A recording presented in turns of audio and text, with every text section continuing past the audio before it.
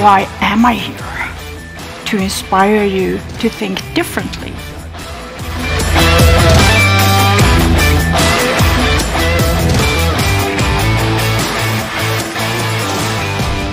Recovery and return to sport after an ACL injury, that's not only about the knee, it is also what's in your head.